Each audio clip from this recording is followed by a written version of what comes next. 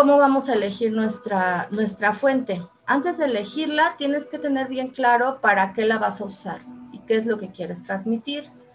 Vamos a ver su legibilidad. Es importante que la tipografía que ustedes usen se pueda leer sin ningún problema, porque acuérdense que hay personas que tienen debilidad visual, entonces nosotros vamos a dirigir nuestros proyectos para que todo el tipo de persona la pueda ver. También he visto que en algunas láminas arquitectónicas algunos textos los hacen con letras muy pequeñitas, entonces imagínense si tienen ustedes un cliente con debilidad visual, pues no va a sacar su lupa para ver lo que ustedes les quieren comunicar. Entonces, sí es muy importante que tenga legibilidad. Y bueno, otro punto que yo les recomiendo mucho es la experimentación.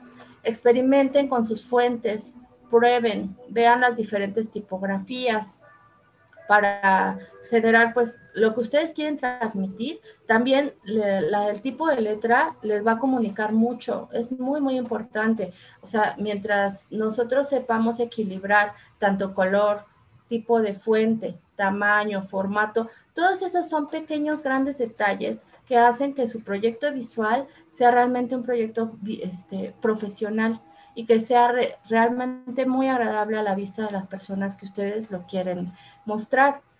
Eh, aquí viene el tip más importante de todos en cuestión de fuentes. No abuses.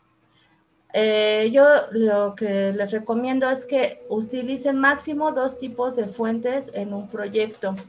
A lo mejor su titular, sus subtítulos y, todo su cuerpo de texto eh, si lo manejan con la misma familia va a ser mucho más armónico que si están cambiando constantemente de familias. Solamente este, están bien aceptadas eh, un cambio de familia en un titular que ustedes quieren destacar muchísimo la atención y entonces sí podemos generar un contraste. Pero lo que es el diseño visual, lo que más espera un, un espectador es que haya un equilibrio de los elementos y que Mm, sea predecible lo que van a encontrar. Entonces, eh, vamos nosotros mucho al interior de las personas que van a ver sus proyectos visuales. Entonces, lo que les queremos comunicar siempre va a ser, pues, un equilibrio